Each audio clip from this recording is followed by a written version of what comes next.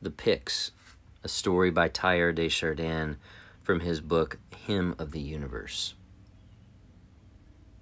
As I listened to my friend, my heart began to burn within me, and my mind awoke to a new and higher vision of things. I began to realize vaguely that the multiplicity of evolutions into which the world process seems to us to be split up is in fact fundamentally the working out of one single great mystery. And this first glimpse of light caused me, I know not why, to tremble in the depths of my soul. But I was so accustomed to separating reality into different planes and categories of thought that I soon found myself lost in this spectacle still new and strange to my tyro mind, of a cosmos in which the dimensions of divine reality, of spirit, and of matter were also intimately mingled. Seeing that I was waiting anxiously for further enlightenment, my friend went on. The last story I would like to tell you uh, concerns an experience which happened to me recently. This time, as you'll see, it was not just a question of vision, properly so called, it was a more general impression which affected me and still affects my whole being. This is what happened. At that time, my regiment was in line on the Avocourt Plateau. The German attack on Verdun was still going on, and fighting was heavy on this side of the Meuse. So, like many priests during battle, I was carrying on me the Eucharistic species in a little pyx shaped like a watch. One morning, when there was an almost complete lull in the trenches, I went down into my dugout, and there, as I withdrew into a sort of meditation, my thoughts very naturally turned to the treasure I was carrying on me. With nothing but the thin gilt of the pyx between it and my breast. Many times already I had derived joy and sustenance from the fact of this divine presence. But this time a new idea dawned on me, which soon drove out all other preoccupations, whether of recollection or of adoration. I suddenly realized just how extraordinary and how disappointing it was to be thus holding so close to oneself the wealth of the world and the very source of life without being able to possess it inwardly, without being able to either to penetrate it or to assimilate it. How could Christ be at once so close to my heart and so far from it, so closely united to my body and so remote from my soul? I had the feeling that an intangible but invincible barrier separated me from him, with whom nevertheless I could hardly be in closer contact since I was holding him in my hands. I fretted at the thought of holding my happiness in a sealed receptacle. I was reminded of a bee buzzing round a pot filled with nectar but tightly closed, and impatiently I pressed the pyx against me, as though this instinctive action could cause Christ to enter more deeply into me. Finally, feeling I could not continue thus any longer, and it being now the hour when I usually said Mass when things were quiet, I opened the pyx and gave myself Holy Communion. But now, it seemed to me that in the depths of my being, though the bread I had just eaten had become flesh of my flesh, nevertheless it remained outside of me.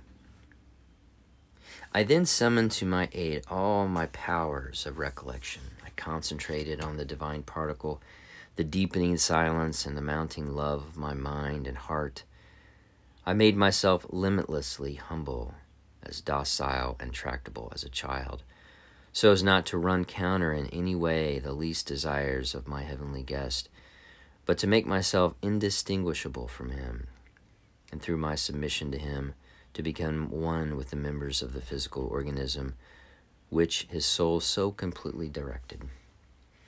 I went on and on without respite, trying to purify my heart so as to make my inmost being ever most transparent to the light which I was sheltering within me. Vain yet blessed attempt. Still, the host seemed to be always ahead of me, always further on in a more complete concentration and opening out of my desires, further on in a greater permeability of my being to the divine influences, further on in a more absolute limpidity of my affective powers. But my withdrawal into myself and my continual purification of my being, I was penetrating ever more deeply into it. But I was like a stone that rolls down a precipice without ever reaching the bottom. Tiny though the host was, I was losing myself in it without ever being able to grasp it or to coincide with it. Its center was receding from me as it drew me on. Since I could never reach the inmost, inmost depth of the host, it struck me that I might at least manage to grasp it by its whole surface, for that surface was very smooth and very small. I tried therefore to coincide with it externally, to correspond exactly to its contours, but there was a new affinity that awaited me, which dashed my hopes. When I tried to envelop the sacred particle in my love so jealously that I clung to it without losing an atom's breadth of precious content with it, what happened was, in effect, that each touch produced a new differentiation, a new complexity, so that each time I thought to have encompassed it, I found that what I was holding was not the host at all, but one or other of the thousand entities which make up our lives a suffering, a joy, a task, a friend, a love, or to console. Thus, in the depths of my heart, through a marvelous substitution, the host was eluding me by means of its own service and leaving me at grips with the entire universe, which had reconstituted itself and drawn itself forth from its sensible appearances. I will not dwell on the feeling of rapture produced in me by this revelation of the universe placed between Christ and myself like a magnificent prey. I will only say, returning to that special impression of exteriority which had initiated the vision, that I now understood the nature of the invisible barrier which stood between the pyx and myself. From the host which I held in my fingers, I was separated by the full extent and the density of the years which still remained to me to be lived to be divinized. Here, my friend hesitated a moment. Then he added, I don't know why it is, but for some time now I have had the impression, as I hold the host in my hands, that between it and me there remains only a thin, barely formed film. I had, he went on, I had always been by temperament a pantheist. I had always felt the pantheist yearnings to be native to me and unarguable, but had never dared give full rein to them because I could not see how to reconcile them with my faith. Now, since these various experiences and others as well, I can affirm that I have found my interest in my existence inexhaustible and my peace indestructible. I live at the heart of a single unique element, the center of the universe, and present in each part of it personal love and cosmic power. To attain to Him and become merged into His life, I have before me the entire universe with its noble struggles its impassioned quest, its myriads of souls to be healed and made perfect, I can and I must throw myself into the thick of human endeavor and with no stopping for breath. For the more, more fully I play my part and the more I bring my efforts to bear on the whole surface of reality, the more also will I attain to Christ and cling close to Him. God, who is eternal being in itself, is, one might say, everywhere in process or of formation for us. And God is also the heart of everything. And so much so that the vast setting of the universe might be engulfed or wither away or be taken from me by death without my joy being diminished. We're creation's dust, which is vitalized by a halo of energy and glory to be swept away.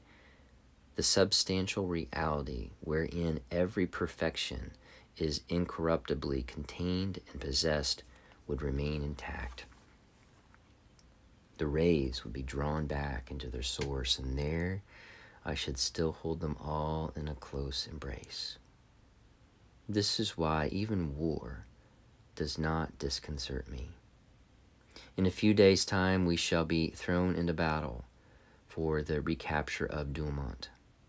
A grandiose, almost a fantastic exploit, which will mark and symbolize a definitive advance of the world in the liberation of souls. And I tell you this I shall go into this engagement in a religious spirit, with all my soul borne on by a single great impetus in which I am unable to distinguish where human motions end and adoration begins.